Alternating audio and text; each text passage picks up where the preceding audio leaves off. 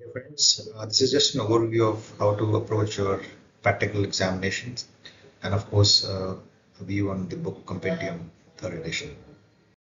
Now in a previous video uh, I've given a whole approach on what books to read and what not to read and how to go about it. And of course uh, in this particular uh, video I'll be just focusing on the the actual day when you give your examination. So let's look at the MD examination. Now the MD examination has got uh, four components. There is the theory papers, there are practicals, of course, the thesis, and what's called on-site learning.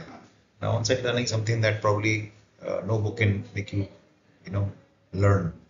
So very often in exams, what happens is, you know, you ask a question to the candidate and the candidate is flummoxed, does not know the answer or is forgotten the answer. Now, why does that happen? In spite of all the learning. There are two reasons for that. The first reason, of course, is because of unstructured learning, which is uh, one reason. The second, of course, is last minute or what I've seen very commonly last year learning. So people in their first, second year do not really study and they think it third year pad lenge. Or else uh, what we saw a couple of years back, uh, the so-called COVID bath syndrome, where I know of institutes where they never went to the hospital, they never saw patients, uh, they did nothing in fact, just sat in the house and did webinar uh, training, which is completely and totally useless for a branch like dermatology. Uh,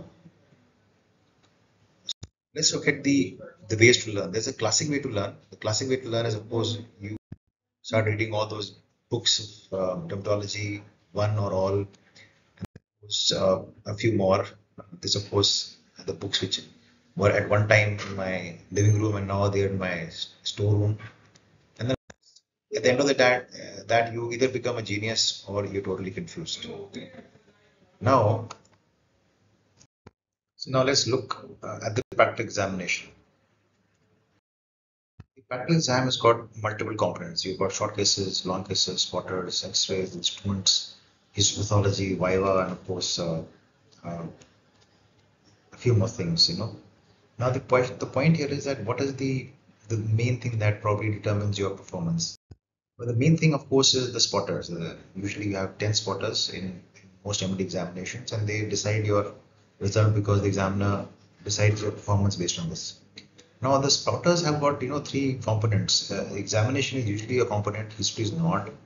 Uh, you have to arrive at a rational diagnosis or DDR based on the examination, and then comes the viva. Now, the first part, you know, is something that I'll give you a small hint that whatever case you get in the exam spotter, there is usually something to do in the patient. See beyond what you have, what, what the lesion is all about.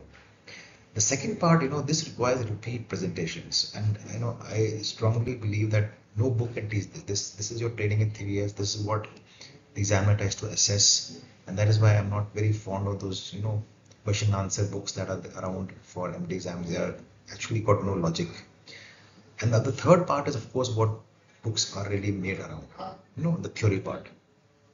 So I'll give you this patient, of course, uh, uh, given to you in the exam, and you see the long shot view, and then you look at the the closer view. Now, the, I know you will know the diagnosis of this case, but in the exam, what happens is the patient uh, comes to you, the examiner wants to see what you've done extra. Have you done something else? Some test you've done? Have you examined any of the part of the body? Have you taken any you know dimensions of that particular area. So of course this of course is lymphangioma circumscriptum and uh, the so-called Frog's appearance and this is what you are expected to do a diascopy. Okay, so uh, try to look at cases uh, very carefully and think as to what you can do in those cases. Now see this particular case. Uh, this is a child who came to the OPD and this is the eruption on the extensor aspect of the upper hand, the elbow, and you can see there are flat top lesions, pink colored, and uh, if you note carefully, there's just an accentuation of the normal skin, uh, mildly symptomatic. Uh, so now this is not, uh, you know, a classical follicular keratotic eruption. So the PG gave a DD of keratosis pilaris, PRP, uh, sarcoidosis, and granuloma annulare, and of course it's none of those. Um, um, one of the postgraduate of course said it's FLE. So this is a classical case of frictional lichenoid eruption and which you can read about. The idea here is that, you know, in the exam, people look at the patient from a distance. Here I have magnified the image So use your lenses and you probably will get a diagnosis in shape. So basically the exams, the spotting uh, in the exams are about how you examine, what you examine, what you look for. So our aim was to take out a book which was sourced from the best sources available and then of course put it out for you to assimilate and read.